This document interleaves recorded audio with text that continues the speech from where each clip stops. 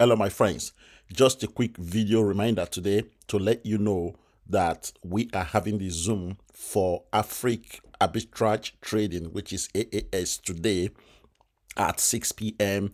GMT. If you have any question, please hop on that Zoom and ask me anything that you so desire an answer for. I will be able to provide you with an answer to the best of my knowledge. So, that means the Zoom.